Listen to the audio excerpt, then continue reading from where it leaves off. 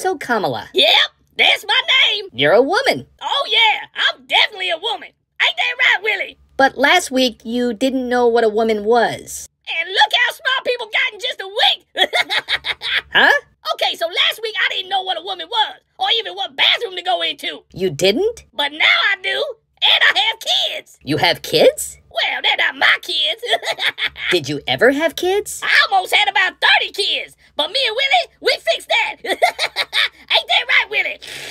So you never had kids? No, but uh, I went through a lot of knee pads, a lot of protein, and a lot of pearl necklaces. Lots of protein, but no Oh, kids. Hell no. I took care of that. That's for sure. Could you imagine if I had kids?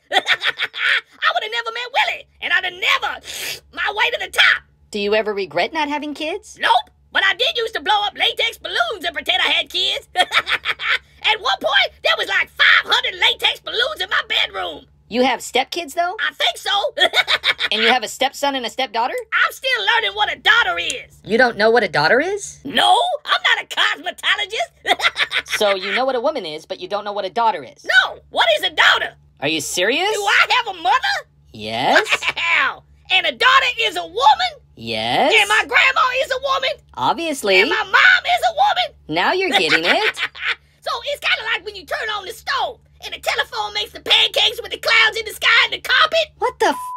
talking And my mom is a woman. And Isn't that amazing?